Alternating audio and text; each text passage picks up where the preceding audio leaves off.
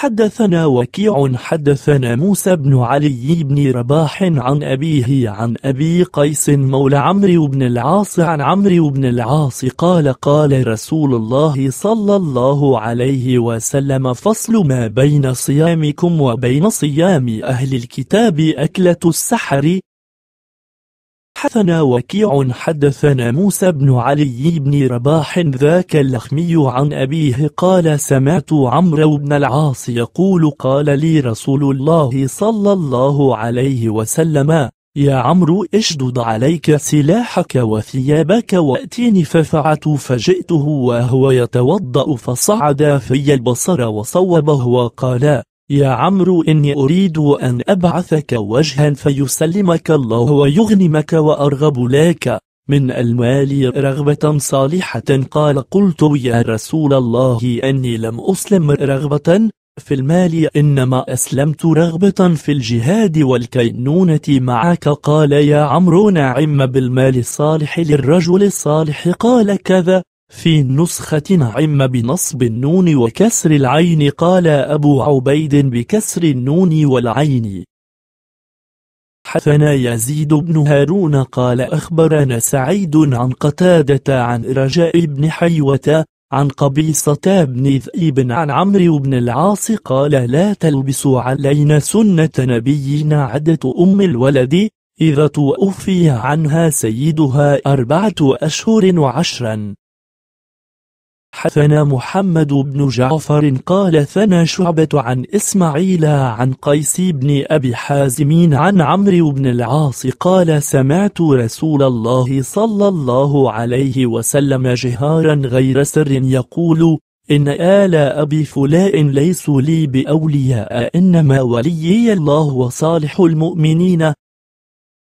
حثنا محمد بن جعفر قال ثنى شعبة عن الحكام قال سمعت ذكوان يحدث عن مولى لعمرو بن العاص أنه أرسله إلى علي يستأذنه على أسماء بنت عميس فأذنا له حتى إذا فرغ من حاجته سأل المولى عمرا عن ذلك فقال إن رسول الله صلى الله عليه وسلم نهانا أو نهى أن ندخل على النساء بغير إذن أزواجهن.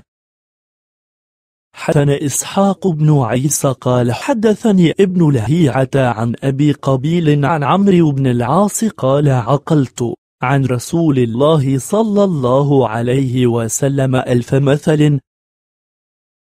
حسن أسود بن عامر قال ثنى جرير يعني ابن حازمين قال سمعت الحسن قال قال رجل لعمر بن العاص أرأيت رجلا مات رسول الله صلى الله عليه وسلم وهو يحبه أليس رجلا صالحا قال بل قال قد مات رسول الله صلى الله عليه وسلم وهو يحبك وقد استعملك فقال قد استعملني فوالله ما أدري أحبا كان لي منه أو استعانة بي ولكن سأحدثك برجلين مات رسول الله صلى الله عليه وسلم وهو يحبهما عبد الله بن مسعود وعمار بن ياسر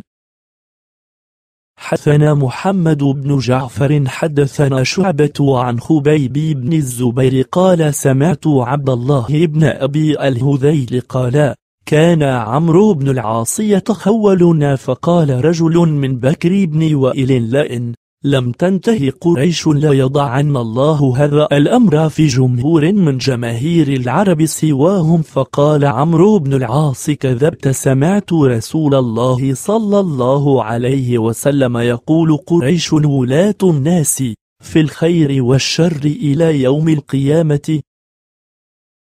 حدثنا عبد الرحمن بن مهدي قال حدثنا موسى يعني ابن علي عن أبيه قال سمعت عمرو بن العاص يقول ما أبعد هديكم من هدي نبيكم صلى الله عليه وسلم أما هو فكان أزهد الناس في الدنيا وأنتم أرغب الناس فيها. حدثنا عبد الرحمن بن مهدي عن موسى عن أبيه عن عمرو بن العاص قال كان فزع بالمدينة فأتيت على سالمين مولى أبي حذيفة وهو محتب بحمائل سيفه فأخذت سيفا فاحتبيت بحمائله فقال رسول الله صلى الله عليه وسلم يا أيها الناس ألا كان مفزعكم إلى الله وإلى رسوله ثم قال ألا فعتم كما فعل هذان الرجلان المؤمنان حسن يحيى بن حماد قال أخبرنا عبد العزيز بن المختار عن خالد الحذاء عن أبي عثمان قال حدثني عمرو بن العاص قال بعثني رسول الله صلى الله عليه وسلم على جيش ذات السلاسل قال فأتيته قال قلت يا رسول الله أي الناس أحب إليك؟ قال عائشة قال قلت فمن الرجال؟ قال أبوها إذا قال قلت. ثم من قال عمر؟ قال فعد رجالا.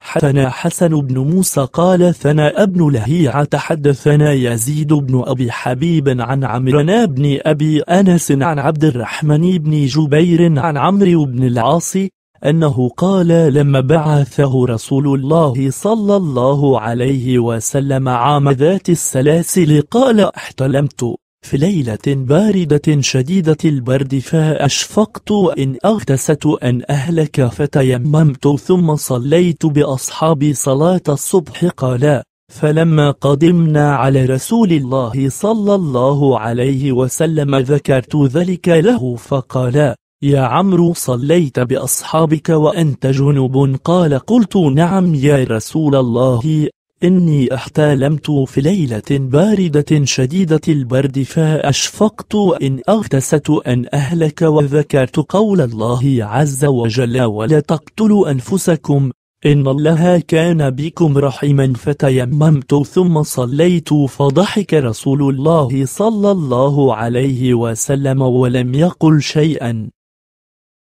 حسن حسن قال ثنا ابن لهيعة قال ثنا يزيد بن أبي حبيب قال أخبرني السويد بن قيس عن قيس بن سمي أن عمرو بن العاص قال قلت يا رسول الله أبايعك على أن تغفر لي ما تقدم من ذنبي فقال رسول الله صلى الله عليه وسلم إن الإسلام يجب ما كان قبله وإن الهجرة تجب ما كان قبلها قال عمرو فوالله إن كنت لا أشد الناس حياء من رسول الله صلى الله عليه وسلم فما ملأت عيني من رسول الله صلى الله عليه وسلم ولا رجعته بما أريد حتى لحق بالله عز وجل حياء منه.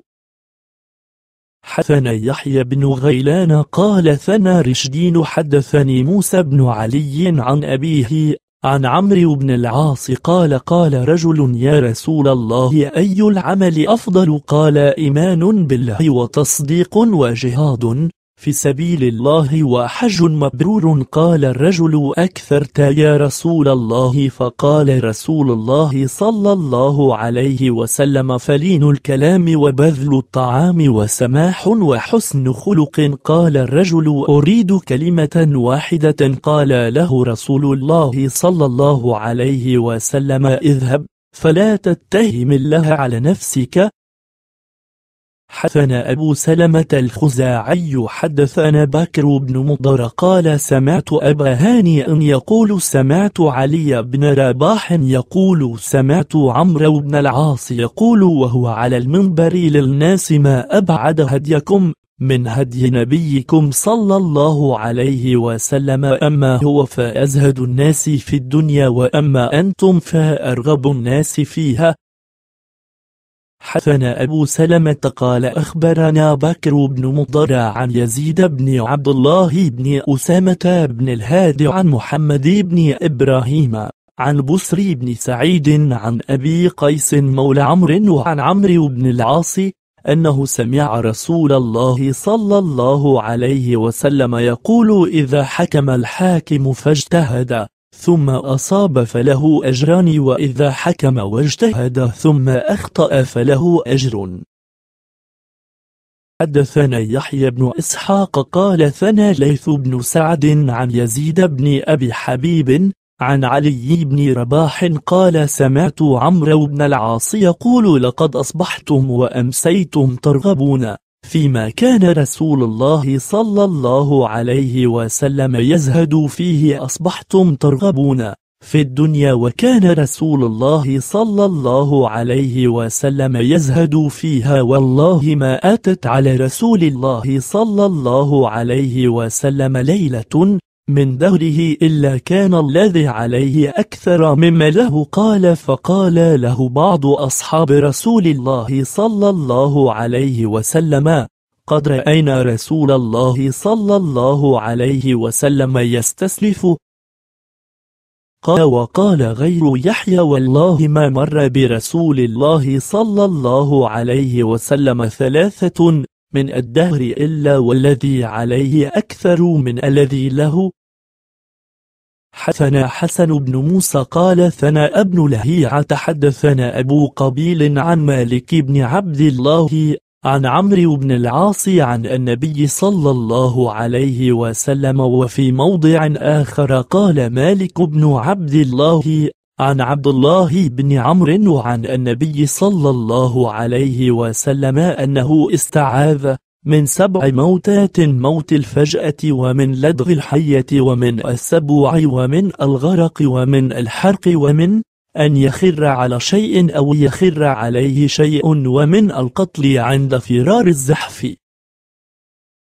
حدثنا أبو سعيد مولى بني هاشمين قال ثنا عبد الله بن جعفر يعني المخرامي قال ثنا يزيد بن عبد الله بن أسامة بن الهادي عن بسري بن سعيد عن أبي قيس مولى عمرو بن العاص عن عمرو بن العاص أن رسول الله صلى الله عليه وسلم قال نزل القرآن على سبعة أحرف على أي حرف قرأتم فقد أصبتم فلا تتماروا فيه فإن المراء فيه كفر. حدثنا أبو سعيد حدثنا عبد الله بن جعفر قال ثنا يزيد بن عبد الله عن محمد بن إبراهيم عن بسري بن سعيد عن أبي قيس مولى عمرو بن العاص عن عمرو بن العاص قال قال رسول الله صلى الله عليه وسلم إذا حكم الحاكم فاجتهد فأصاب فله أجرني وإن أخطأ فله أجر. قال يزيد فذكرت ذلك لأبي بكر بن حزمين فقال هكذا حدثني به أبو سلمة عن أبي هريرة عن النبي صلى الله عليه وسلم بمثله حسن أبو سلمة الخزاعي قال أخبرنا عبد الله بن جعفر بن عبد الرحمن بن المسور بن مخرمة قال أخبرني يزيد بن عبد الله بن أسامة بن الهادي عن بصري بن سعيد عن أبي قيس مولى عمرو بن العاص قال سمع عمرو بن العاص رجلا يقرأ آية من القرآن فقال من أقرأكها قال رسول الله صلى الله عليه وسلم. قال فقد أقرأنيها رسول الله صلى الله عليه وسلم على غير هذا. فذهب إلى رسول الله صلى الله عليه وسلم فقال أحدهما يا رسول الله آية كذا وكذا ثم قرأها فقال رسول الله صلى الله عليه وسلم هكذا أنزلت فقال الآخر يا رسول الله فقرأها على رسول الله صلى الله عليه وسلم فقال أليس هكذا؟ هكذا يا رسول الله قال هكذا أنزلت فقال رسول الله صلى الله عليه وسلم إن هذا القرآن أنزل على سبعة أحرف فأي ذلك قرأتم فقد أحسنتم ولا تماروا فيه فإن المراء فيه كفر أو آية الكفر. حسن موسى بن داود قال أخبرنا ابن لهيعة عن عبد الله بن سليمان. عن محمد بن راشد المرادي عن عمرو بن العاص قال سمعت رسول الله صلى الله عليه وسلم يقول ما من قوم يظهر فيهم الربا إلا أخذوا بالسنة وما من قوم يظهر فيهم الرشاء إلا أخذوا بالرعب حدثنا أبو معاوية عن الأعمش عن أبي صالح قال استأذن عمرو بن العاص على فاطمة فأذنت له قال ثم علي قالوا لا قال فرجع ثم استأذن عليها مرة أخرى فقال ثم علي قالوا نعم فدخل عليها فقال له علي ما منعك أن تدخل حين لم تجدني هاهنا قال إن رسول الله صلى الله عليه وسلم نهانا أن ندخل على المغيبات.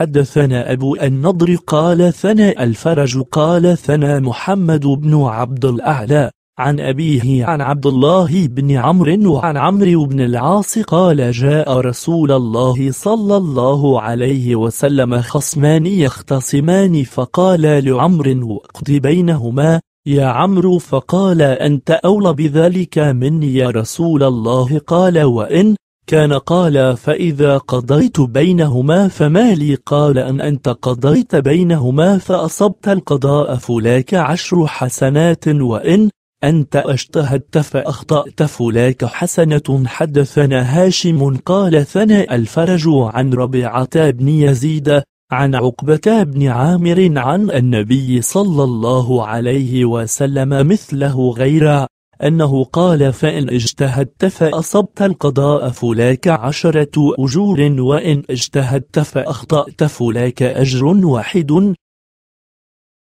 حدثنا سليمان بن حرب وحسن بن موسى قال ثنا حماد بن سلمة عن أبي جعفر الخطمي عن عمارة بن خزيمة بن ثابت قال كنا مع عمرو بن العاص في حج أو عمرة حتى إذا كنا بمر الظهران فإذا امرأة في هوداجها قد وضعت يدها على هوداجها قال فمال فدخل الشعب فدخلنا. معه فقال كنا مع رسول الله صلى الله عليه وسلم في هذا المكان فإذا نحن بغرباء كثيرة فيها غراب أعسام أحمر المنقار والرجلين فقال رسول الله صلى الله عليه وسلم لا يدخل الجنة من النساء إلا مثل هذا الغراب في هذه الغربان قال حسن فإذا امرأة في يديها حبائرها وخواتيمها قد وضعت يديها ولم يقل حسن بمر الظهران. حسن يحيى بن إسحاق أخبرنا ليث بن سعد عن يزيد بن أبي حبيب عن ابن شماسة أن عمرو بن العاص قال لما ألقى الله عز وجل في قلبي الإسلام قال أتيت النبي صلى الله عليه وسلم ليبايعني فبسط يده إلي فقلت لا أبايعك يا رسول الله حتى تغفر لي ما تقدم من ذنبي. قال فقال لي رسول الله صلى الله عليه وسلم يا عمرو أما علمت أن الهجرة تجب ما قبلها من الله ذنوب؟ يا عمرو أما علمت أن الإسلام يجب ما كان قبله من الله ذنوبه